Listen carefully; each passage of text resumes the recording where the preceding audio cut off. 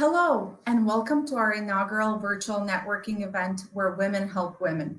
I'm Vladka Poljic, and I'm a director of our U.S. Women in Business team. At BMO Harris, we're passionate about supporting our women business owners, and we understand the essential part they play in the U.S. economy. Women owned businesses contributed more than $1.3 trillion to the economy and employ more than 9.4 million workers the growth they have been achieving over the past several years was nothing short of amazing.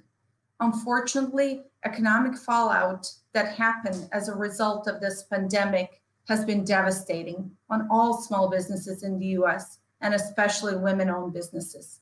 In these uncertain times, it is crucial to support the formation of meaningful networks that can help our businesses become more resilient and scalable at BMO Harris, we understand the distinct need for mentorship and networking, and we're excited to continue our networking events on a virtual basis all across our US footprint.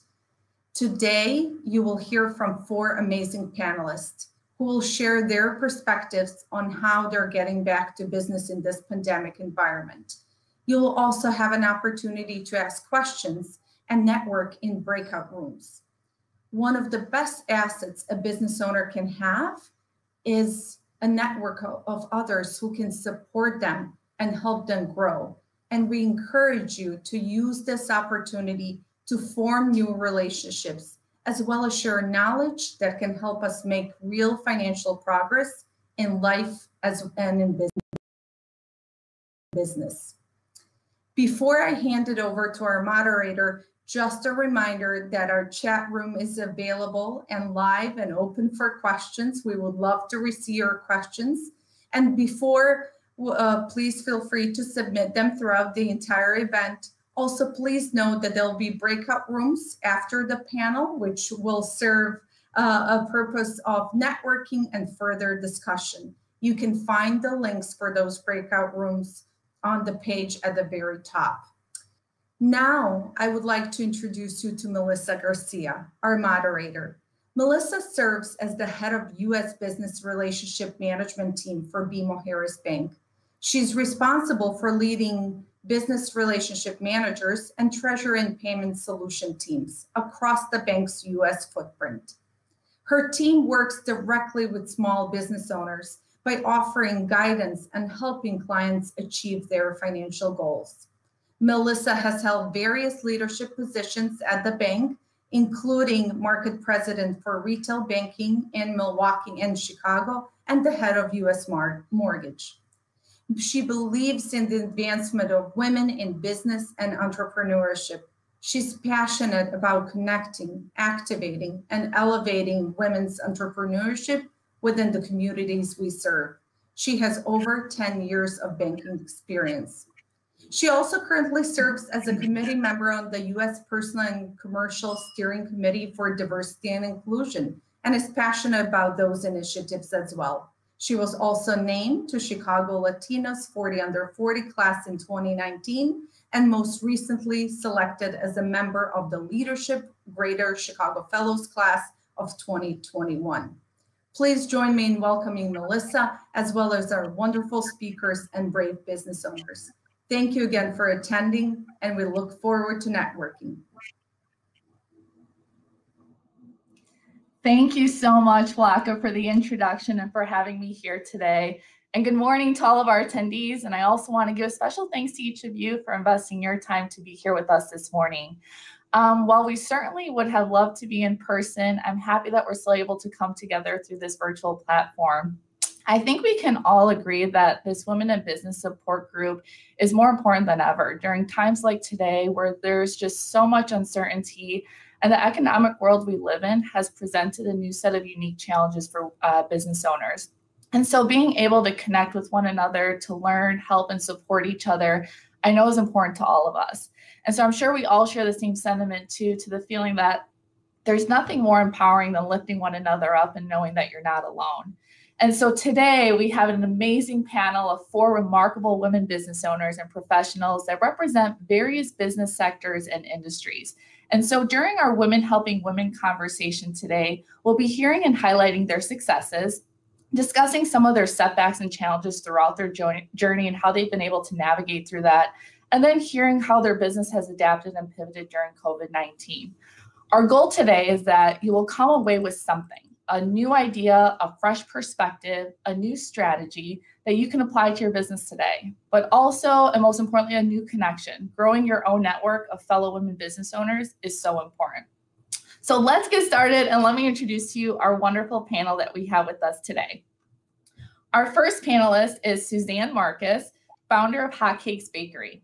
Suzanne Marcus had a sweet vision of providing her specialty baked goods to Chicago area restaurants, coffee houses, and local markets more than 20 years ago. Looking beyond her position in the financial markets industry, Suzanne embraced her passion, donned an apron, and created Hotcakes Bakery. Her pristine wholesale bakery facility is in Northbrook, Illinois, and is dedicated to providing quality, wholesome, handcrafted and most importantly, delicious products to local food service customers, as well as producing private label and bulk products regionally for national wholesalers. As Suzanne found many fans along the way, a distinctive line of freshly baked packaged hotcakes products for retail market sales was developed for all to enjoy. Welcome, Suzanne. So happy to have you with us today. Thank you for inviting me. Our next panelist is Sheena Baker with Carmack Realty Group. Sheena is a full-time, full-service real estate agent with a personal slogan of helping the community become homeowners. She obtained her real estate license in 2006 and is a top producing real estate broker at Carmack Realty Group. She leads her own team, the Sheena Sell team, located in downtown Aurora. After purchasing her first home at the age of 19, she became passionate about helping others experience the benefits of home ownership. Sheena has been a real estate investor, owning multiple units, as well as servicing friends, church members, families, and new clients alike. She is also the former president of Women's Council of Realtors West Suburban Network. Some of her greatest accomplishments include being awarded the 2008 QCAAC Aspiring Entrepreneur Award. She's been recognized as Chicago's Magazine Who's Who in 2016 and 2019 and she's also been awarded the 2018 Realtor of the Year with Women's Council. She's also earned her accredited commercial practitioner certification. Welcome, Sheena. Thrilled to have you with us today. Thank you for having me.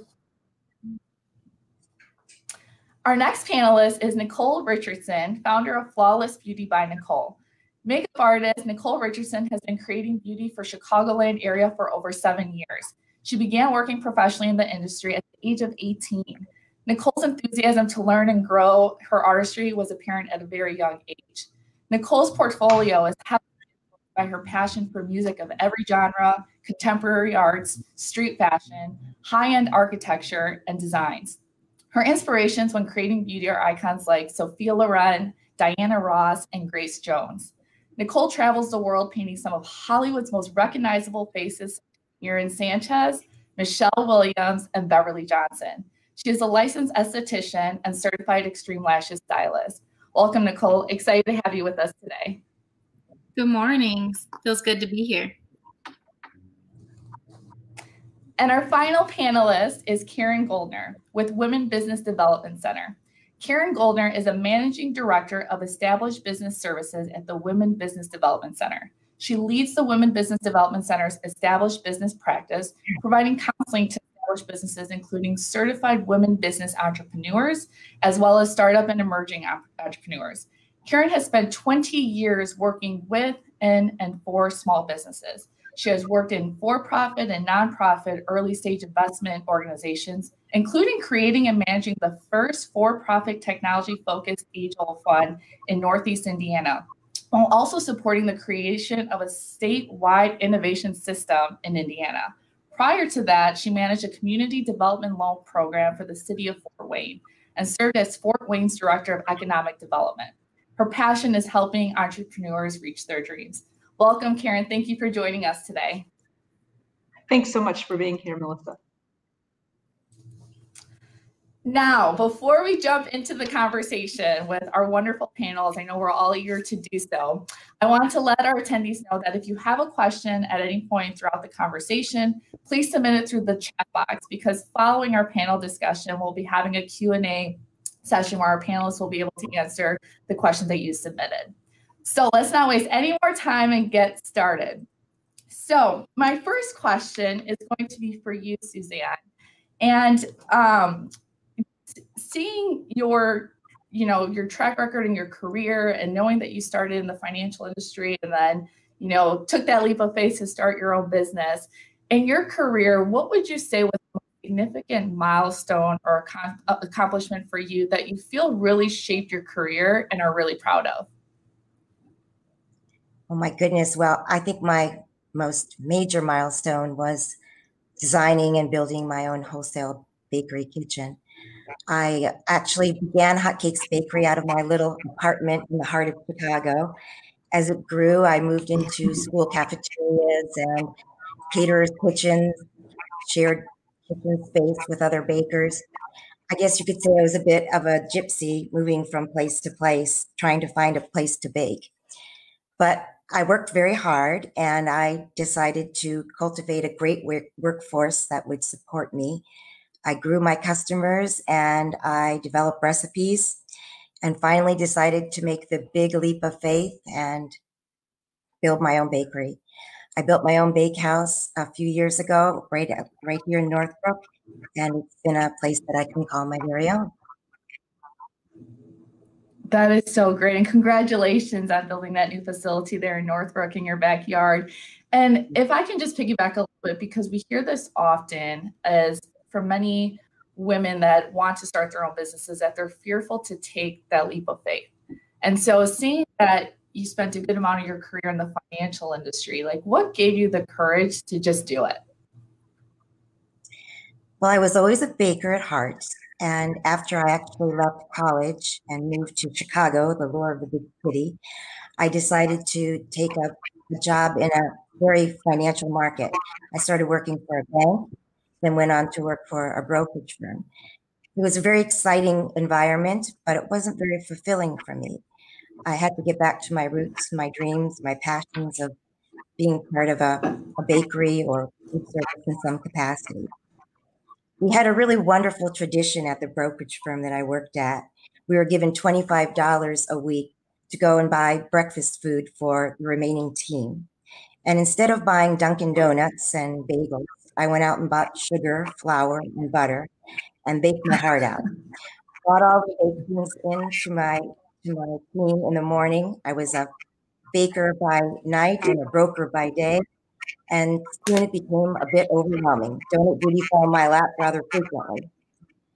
So I decided at that point in time that I would take a great leap of faith and just open up my own bakery, leave the brokerage industry. I knew it would be there and waiting for me if I ever decided to go back. And there's no looking back now, right? I mean, just following your true passion. There's no looking back. yeah and here you are now making products for national wholesalers like low, like Whole Foods, where now we can all enjoy baked goods. That's just remarkable. Now, Sheena, if it's I can so go over to you, Follow your passion. Absolutely, absolutely. And and Sheena, now we can go to you um, because you've built a successful real estate agency, and as I shared in the intro, many awards, and I've only shared a few of the many that um, you have been awarded and it's just prestigious recognitions. And so the fact too that you became a homeowner at the age of 19, I think is a significant milestone. And so what would you attribute your success to? Um, purchasing a, a, first home at the age of 19, of course, that um, accelerates you to um, do more. So what happened with my story is I started, um, well, if I back up a little bit, my growing up, we moved a lot. So I bought my first home at the age of 19. That's a whole nother long story. Um, but it was because of the stability that I wanted. And then everyone that I knew wanted to, you know, buy real estate. I bought so young, all my friends, family, and everything. They would ask me a lot of questions. And then that's how I got into, um, I think I could sell real estate. And so that shifted my mindset there. And I didn't know how you know good I would be at it. But you know that's kind of what I did there. But I would say my most pivotal moment in this career was running a national organization um, with my local network here in Illinois. So the West Suburban Network of Women's Council of Realtors, um, that is a national network with thousands of chapters around the United States. So to become president of that organization in my you know early 30s, to me that was huge. Um, and that showed me that if I can run a network and, and what happened at that network, it started off with like 30 members and we would have meetings of about 20 people once a month. And when I became president, switched to 100, 150 people coming out to these events.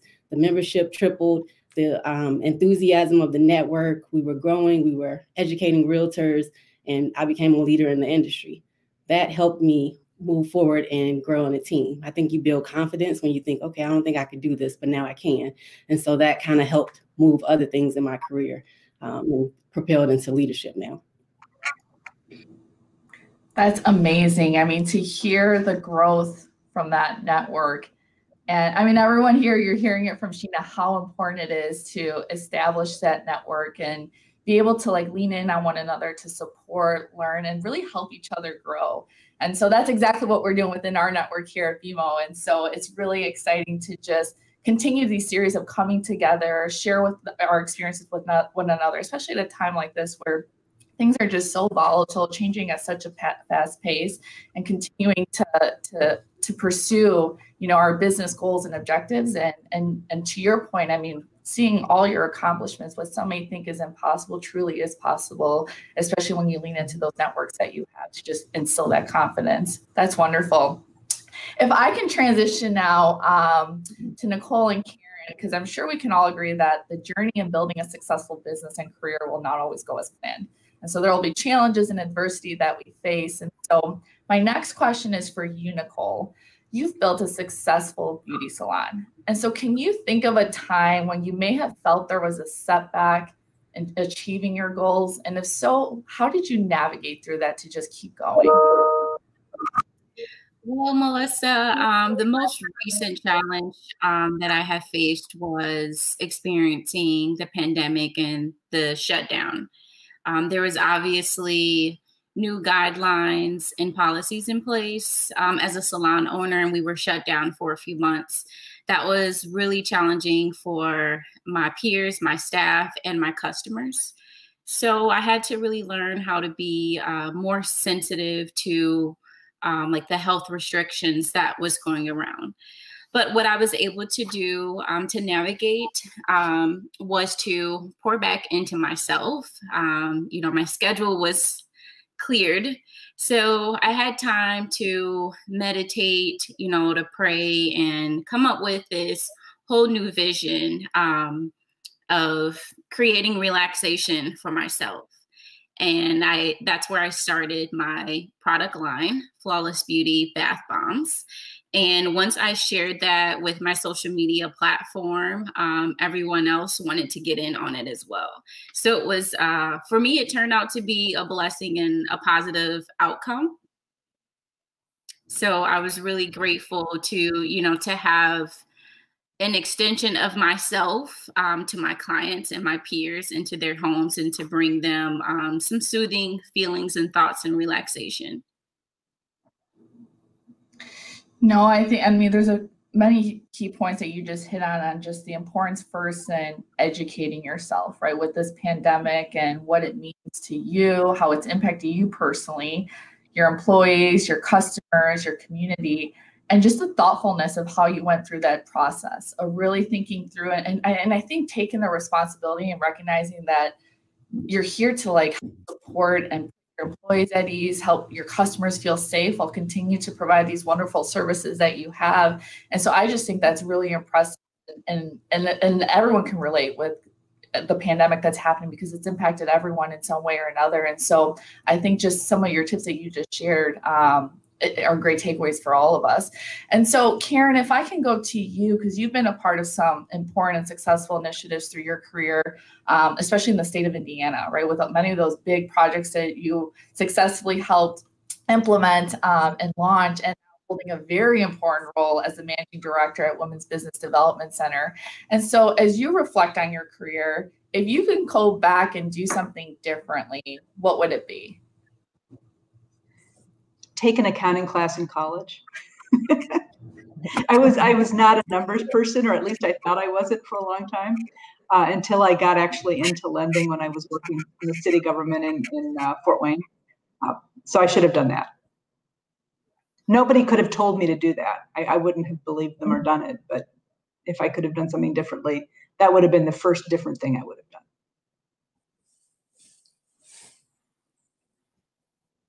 Back in college in the accounting classes. I don't know if I recall much of it either. And so now, is there something at the Women's Business Development Center that you offer for any other women business owners that may feel the same way or would like additional, you know, knowledge and building their acumen when it comes to accounting? Sure. Yeah. Well, we have a lot of programs, and, and we certainly don't teach accounting, um, but help people figure out how to understand their numbers better. Um, so we do that with startups through some programs, but then also for more established businesses, um, we can do that through. We have workshops. We have a program called Scale Up, which helps with that, and then we do a lot of one-on-one advising. And through the pandemic, especially, we've done um, a lot of that, helping uh, helping business owners access capital. That's wonderful. And so, if I can just keep this conversation going now, especially with the pandemic, because I think that this is obviously most prevalent today and on all of our minds. And it's no secret that there's has been never been a more challenging time to be operating a business. And because everyone has been affected by COVID in one way or another. And so, as we progress into the second half of 2020, it's helpful to look at how business owners like yourselves have pivoted in this situation while also keeping in mind changes for the future. And so, Suzanne, if I can start with you and just hearing how you've adapted, you know, your business model at Hotcakes Bakery in response to COVID-19. Well, Hotcakes Bakery is an essential business, and as such, we must keep operational. We must continue to supply our customers with safe bakery goods. Now, we are regulated by the FDA and we do have inspections as well as uh, third party audits on an annual basis. And we are constantly um, exercising our good manufacturing practices and keeping documentation and overseeing all of the pathogens in our bakery. So we're perfectly prepared to deal with the arrival of COVID 19. I think that um, the greatest challenge for us, though, wasn't in managing the virus in our facility. We certainly took advantage of all of the um, recommendations that the CDC required, but having a small bakery became very difficult when I realized that we just didn't have enough business to maintain our staff um, we did have to cut our staff.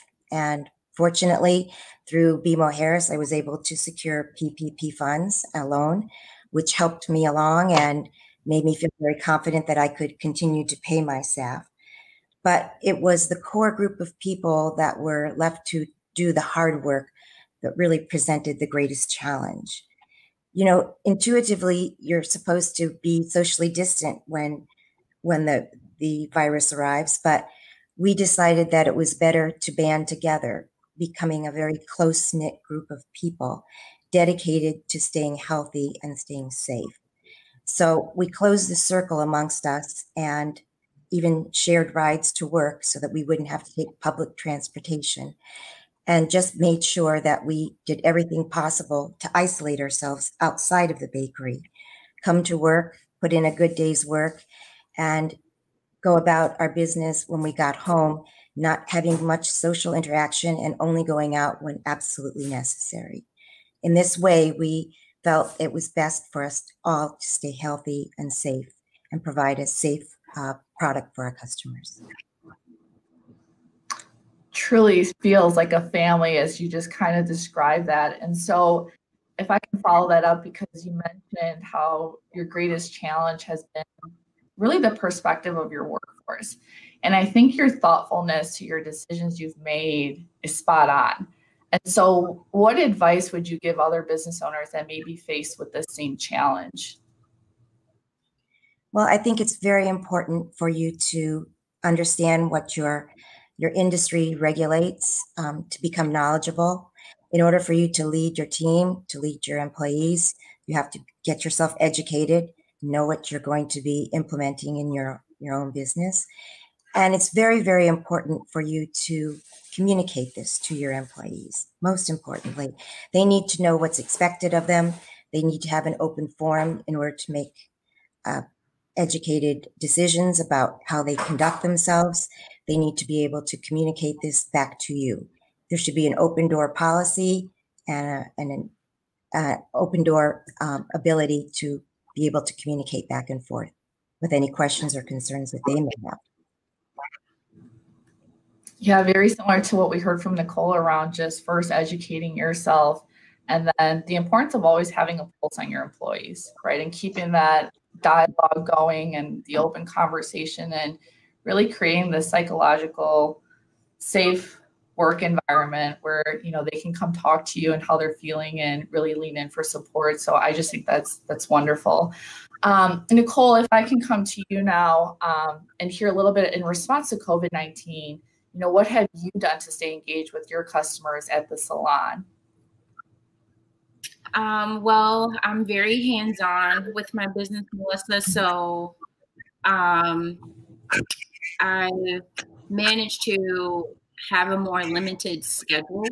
Um, i'm not as hands-on as i would like to be um, but I do like to have uh, a questionnaire set up before they come in and just ask them, you know, like how are they feeling? Because um, mental health is truly important to me. I'm in the beauty business, so um, I know we focus on the outer appearance uh, first, um, but for me, it's it's all mental. So I like to, you know, calm my client and understand where they are coming from and take care of that first, um, so they really do have a relaxing experience. Um, so my goal is to truly pamper them um, and take care of them as a whole being. I think that's just amazing and just how you preface that because oftentimes we think of beauty salons, the you know external appearance, but just how you just frame that up and, and especially at a time like this. And I just think that that's just amazing and remarkable. And um, I can certainly see how your calendar would be filling up very quickly. and Sheena, come to you now. What positive changes maybe for you have come from this adaptation or lessons learned in navigating through, you know, this pandemic for you in the real estate industry that is something you'll take forward with you? Um, I think that we all should have been practicing um, better. Uh, I, I, would say safety when we're in homes. Um, so, like right now, we've instituted for me when I go in, it's called a touchless showings. So I touch everything, and my clients don't because of COVID. Um, so it's for me, it's helpful. We we are, you know, you're in the house, you're close together anyway, but it's helping my clients stay in tune. We're right in line. Um, you know, I open up the door, I turn on the lights. The conversations are happening even more because we're you know, they have to follow close by me because I have to turn on light. I have to touch the door. So those things are are very important. I think we should have been doing that, you know, always. As far as a business owner, um, COVID nineteen taught is teaching us that we really, really have to save, save your money because you never know what's going to happen in this market. Um, luckily for us, we've still been very, very busy but no one knew that going in. And I think the fears of what the market crash or all of this like crept in. Um, but it, it has taught us to just really, you know, save your money, make sure you're budgeting. Um, you know, those are the things that are important in business because you never know how this is going to go. We didn't know there was going to be PP. Um, e or any of those things to help. So you just have to be very, very mindful um, because the market can change at any point. Yeah, and I think we'll engage Karen on that because it, it is very important to save, right? And cash flow is the thing on everyone's mind. And so getting creative these days, I think, is so important when you think about cash flow management. And so, Karen, from your perspective, you know, are you hearing the same that women business owners is this what they're most concerned about? And then, what advice can you provide to women business owners as they think about building a sustainable business model um, moving forward. Well, Sheena nailed it, um, which is save cash, hoard cash, if you want to use the word hoard. Um, and really looking at, um, to your point, Melissa, planning your cash flow, um, at least I think for the next six months, and just kind of keep that up to date. So it's not, you know, every month you're looking six months ahead. And this isn't profit and loss. This is when money comes in and when money goes out. And so, um, you know, maybe you are delaying payments on things. And I'm not saying that you're delinquent, but you would not want to pay early for things. You, you know, if you were fortunate enough to have either a little bit of PP, um, PPP money left over that might not qualify for forgiveness, or if you ended up with an EIDL loan that came really late and so you're like, I don't even know what to do with this, hold on to it. Yes, it's debt, but it's cash as well. And you just aren't, you don't know what's going to happen over the next months uh, project out when your revenue looks like it's going to be coming in. So you may be doing work today, but not be paid for 30 or 60 or 90 or 120 days. Assume your um, uh, customers are going to be uh, paying you paying you late. Um, the other thing I would also say is to ask for help, right? So um, ask for help from your customers, in, in, you know, in terms of, of maybe getting payment terms better, having money come in up front asking for you know 25% or half half of it down um, letting them know that in order for you to be able to continue providing them service you need to talk with them about when they can actually get you paid um, talk to your suppliers right see if you can get on terms so maybe right now you're paying cash when you order things if you've been working with suppliers for a while you should ask for 45 day terms worst that's going to happen is they're going to say no. What's likely to happen is they'll give you 30. So that helps you maintain your cash flow um, better. Talk with your bank. If you can qualify for some kind of line of credit, probably a good thing to do. If you already have a line of credit, see if you can get it um, ex- expanded so that it's so that it's higher. Um, when you need the cash is not a good time to be looking for it, right? So to Sheena's point, you just want to keep saving and saving because you don't know what is going to happen in the future. Um, and then the last is um, the WBDC, right? Women's Business Development Center. We're uh, based in downtown Chicago. We have an office in Aurora. We have a couple of other offices um, in the in the Chicagoland area, and we're here to help. So it's WBDC.org um, is our website, and many of our services are provided at no charge. And we also do some micro lending and work with great banks like BMO to help you uh, to help you grow your business. Um, so it sounds like Melissa maybe dropped off with some technical problems. These things happen. Um, oh, she's back. I'm back. So I, I don't even have to ask Sheena a question. Apologies. Glad we were able to reconnect and the conversation kept going. Um, and as we were talking really around just how everyone's been impacted with the pandemic and i think the sustainable practices that you shared um, just demonstrates how they can greatly help during turbulent times right? And you all shared how you each have accepted if i can use that terminology this changing climate evolved your business for the better while still maintaining an eye for the future. And so I think just what really stands out is that you each recognize as business owners and professionals the great responsibility that you also have to the people you employ, your partners, your customers, um, and your community. And so let's con- keep the conversation going and go into work life balance. And I know achieving work life balance is something we hear about and talk about a lot because it's important, but I think we can all agree that it's tricky especially right now, given the shift in working from home as a result of the pandemic, where we may be working longer hours, we're feeling isolated because all of our meetings are virtual. The financial stress, Sheena, as you talked about, and the importance of saving. Um, while many people have taken on, you know, the role of educator or attending to elderly care needs. And so, Suzanne, if we start for you uh, more on the personal, from a personal perspective, you know, given the demands of running your own business, how do you personally maintain a work-life balance? Well, I guess the correct answer would be to say that um, maintain a balance, but that is not true in my case. So I would be fibbing if I said something like that there's always been a blurred uh, view of my life and my bakery. My life is my bakery, and my bakery is my life. And I have started my bakery with that premise from the get go. I guess it's um, a matter of knowing when to walk away from your bakery or walk away from your work and get involved in other things that um, allow you to think and work freely. Um, for me, I spend so much time at the bakery and I spend so much time thinking about it at home. My best advice is to pick something that you are truly interested in doing. You know, you you spend so much time at work, so much time of your life. It's so important for you to integrate it into everything that you do and find joy in what you do. So I would suggest to anyone that's intent on going into their own business to to get involved in something that you truly enjoy. Yeah, I couldn't agree more. And so just curious, you know, what helps you retain your sanity? You know, what are some things when you get home from the bake shop okay. that you do? run. Um, I love to garden. And believe it or not, I love to cook. So kind of strange that I would work all day recipes in the bakery and come home and cook.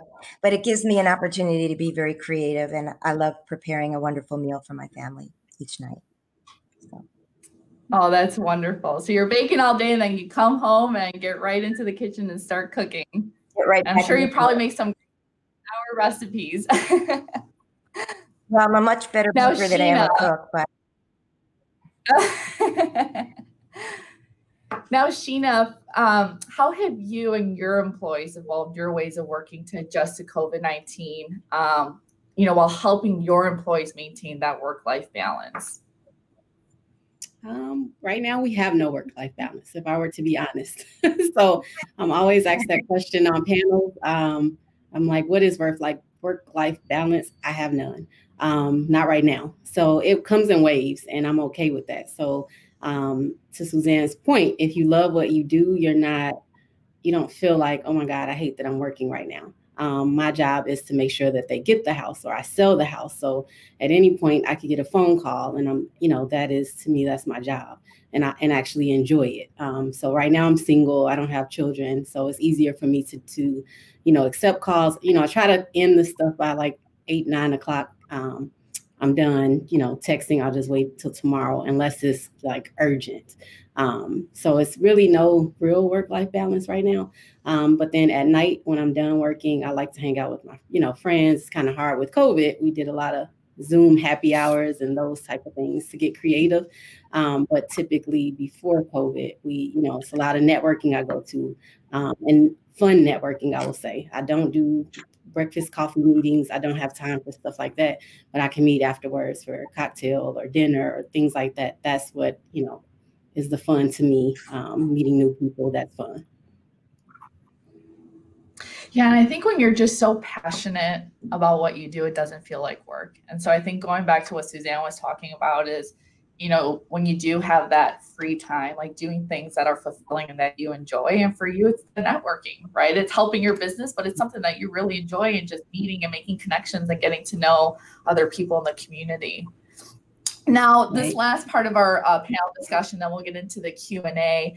Um, I just like to spend a few minutes um, getting your insights on when it comes to managing finances because managing finances is crucial to running a business and directly affects whether or not you're able to achieve your personal goals. And so at the bank, we understand that having the right tools and people in your corner to help you um, can make all the difference in enabling you to meet those goals.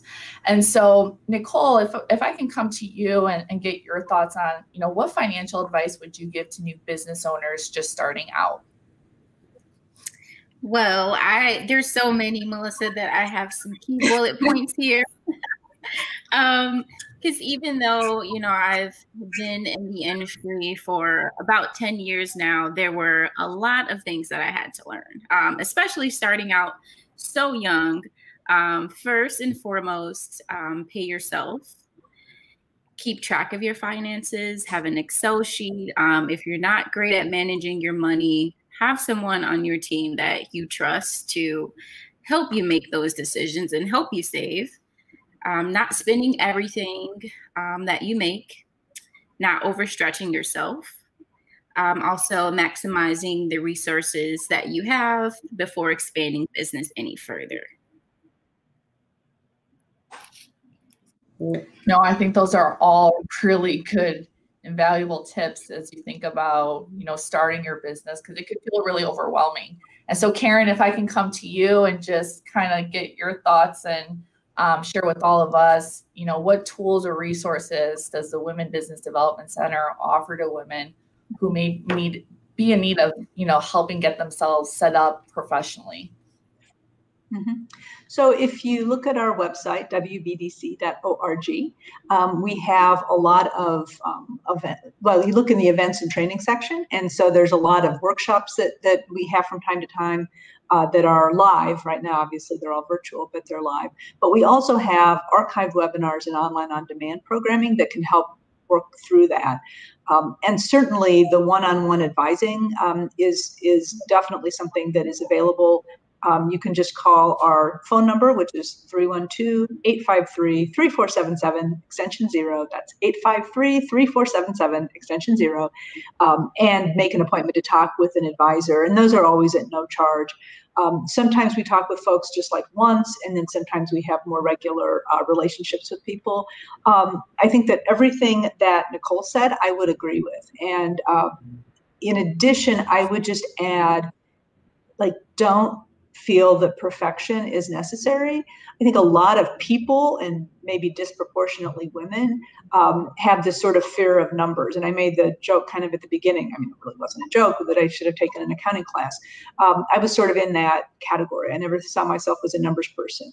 Um, but you cannot run a successful business without understanding the numbers about your business, your sales numbers, your costs numbers, all of those things.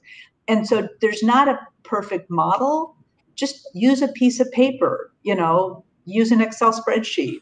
Uh, just figure out, well, what am I spending money on all of the time? What are some of the expenses that I have that vary with sales? Like, I mean, obviously, you know, from Suzanne's perspective, her um, her ingredients uh, change uh, based on how much she's selling, but her rent and her uh, cost of her, her kitchen does not change. So, looking at those kinds of, of expenses and getting that kind of understanding what those numbers are, and then call us and make an appointment, and we can talk through what those numbers look like and what they might mean to you. If, if you're wanting a little bit more um, in depth and, and you know just feel like you want a little bit of education. Yeah, I think you're right. When you make the comment of oftentimes we put this expectation of perfection and it has to go as planned but we all know that that's not the case. And so the importance of leveraging the tools and your resources and your subject matter experts your banker right to help you on this journey to be able to pivot and adapt as needed. Okay so we are at t- a little bit over time where we want to allow enough time for the q&a as i'm getting notices here that lots of questions are coming through so what I'll do is I'll read a question and then I'll open it up to the four of you, whoever wants to take the lead on, on the question.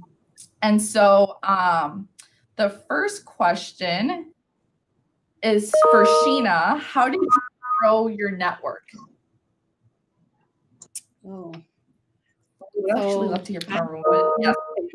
Um, so I think that's the first uh, I guess if you're trying to grow your network, start with your sphere, which is your friends, your family, um, past colleagues. So my corporate background was human resource, payroll management, implementations. Um, so I have a for 15 year span. Those are my friends. Those are my, you know, family. You spend more time at work than you do at home. So those became my friends. So that's a huge network of past colleagues. Then I have a huge family um, here in Chicago. Um, and then over the years, we moved a lot as a as a child when my parents got divorced. So I kept meeting people in different schools, and um, I was always a new girl. So you kind of adapt to learn how to uh, make friends quick, um, and that has helped me as an adult. So I would say, and then now as a professional and a business owner, I go to a lot of events. Um, so if you are trying to expand your career or learn more in your field, figure out where you can go and learn. So for me, I like nighttime events because that's when I'm done working. So I would find those type of events if they were teaching something that I wanted to know, or if it's a panel that I wanted to hear, um, go to those events. And then afterwards, you're networking. And then what I also found, other top producing realtors would be at those events networking as well. So then you meet other producers that can kind of help you grow in your business. You become friends. You kind of bounce ideas off of each other. Um, and then I would post about those things. So on social media and all of that, and that expanded my reach even more. So it's a couple of things that I do, but a lot of it is incorporating learning and fun. I love and it's one thing to attend events, but being intentional where the magic really happens is when you make those connections during the actual networking. Right. And so like exactly. what's exciting is we're gonna all have that opportunity shortly here as we go into our breakout sessions. But um, I think that I mean obviously hearing from your success and, and how you've been able to rapidly grow your network um, is just really impressive. And so thanks for sharing your words of wisdom. Does anyone else want to share a little bit about just how they've gone about growing their own personal network? Well, I think it's very important to approach things professionally from the get go. Make sure you know very much about your industry, educate yourself, know about the regulations that comprise your industry. And it's very important for you to surround yourself with professional people. Get in touch with a good lawyer, with a good banker, with a good um, accountant, and make sure that you have people that are around you that can advise you, support you, and help you grow. Absolutely. Just having that network of subject matter experts that you can lean into for guidance, right? And as you continue to grow your business, because it truly is a partnership. So thanks for mm-hmm. sharing that, Suzanne. Okay, the next question I have is let's see here. Do any of the panelists have an office lease to pay curious on how to handle a high office lease when we are all working from home now. I have a lease personally that I have to pay. I'm in a two year lease for my office downtown Aurora.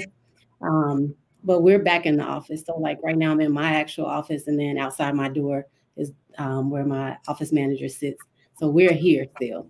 Um, so, it's just the two of us in the office right now. But we're back at the office. So if you can go into your office, I don't think you have to have people coming in here if you're not comfortable with that at this time. Um, but we're still back in the office utilizing the space because we pay for it. Oh, you know, one of the sense. other things. So, yep. Go ahead, Karen. Well, I was going to say one, one of the other things, if you're really not using your office um, and, and don't think you're going to, or, or, you know, it's looking like you're going to downsize, there's nothing wrong with going and talking to your landlord and saying, hey, you know, things are tough. Can I get a 10 or 20% um, reduction on my lease payments for a while or, or whatever, right? Having that conversation, again, it, it gets back to the asking for help thing. Um, and you know what? Maybe they're going to say no. Um, but they're certainly not going to say yes if you don't ask. And so that can help you conserve your cash. Frankly, they probably don't have a lot of other options right now. you know, it's not like they're going to kick you out probably because they don't have folks standing in line to move into your commercial space. So, um, you know, this also speaks to have the, the benefit of having developed a good relationship with people, kind of like what Sheena was talking about.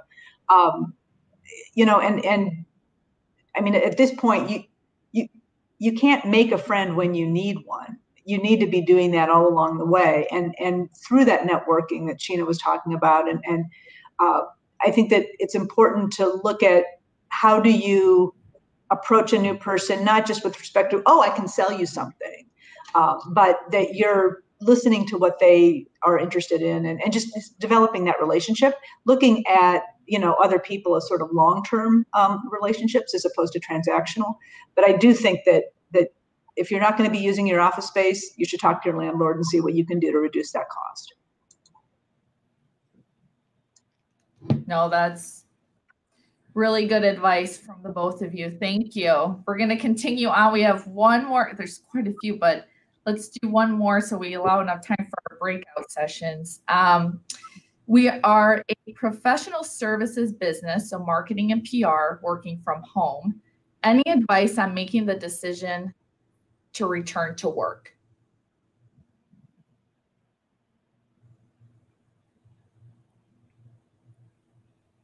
I just gave mine. I would just I would figure out what I'm seeing businesses doing do um, is like even here in our eight floors in this building. I'm in a bank building downtown Aurora.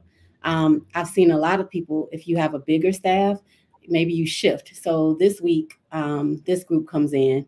Um, and then next, the other week, this other group comes in to kind of split. Um, and I still think you kind of can practice social distance that way. Um, but if I know a lot of companies, my sister is the head of HR um, in Texas, if it's working fine for her group to be at home. So if you're working fine at home and you don't need to be in the office and everyone's safe, I guess what's the rush to get back into the office right now? Um, unless you need to utilize the space. Sometimes people need the big printers and all of those things. And if you need to, I think you just have to be safe when you go back into the office. Yeah, I think many people are finding, to your point, like productivity, right, has increased quite a bit kind of from this working from home model.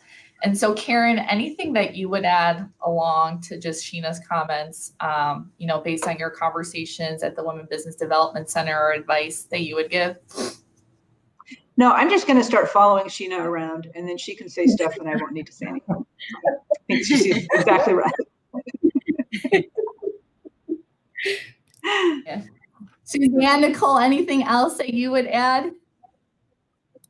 Um, you know, just really um, practicing the safety guidelines. So um, in the salon, we do provide disposable masks. I know everyone walks around with the fabric mask. Sometimes they are hard to breathe, especially when you're trying to communicate with one another. So I would have those um, on display for staff. Definitely when you walk in, um, be touchless until you wash your hands. Uh, we have disposable gloves as well too. So we just have a few uh, equipment for everyone to use when they come in, and we're by appointment only. So we do have certain time slots available of when we can go into the salon and work. Yeah, so just so important, just taking the necessary precautionary steps to keep your employees and your customers safe and you know, go with the appointments and, you know, changing how you go about scheduling. And, know, like you were talking about too, you know, returning to the office. Sometimes you have employees return one week and then you shift it over the other employees, you know, kind of rotate that schedule every other week.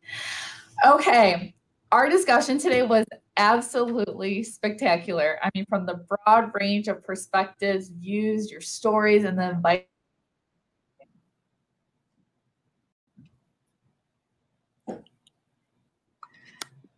So it looks like Melissa has dropped. Um, so I think um, we are about ready to break out into the breakout sessions. And so what that requires is um, that you will go into the odysseyproduction.ca slash live slash BMO Women Breakout um, uh, website. And so you'll you want to go into into that um, web browser and then you're going to close out this Vimeo. So you're basically leaving this system and going to the other.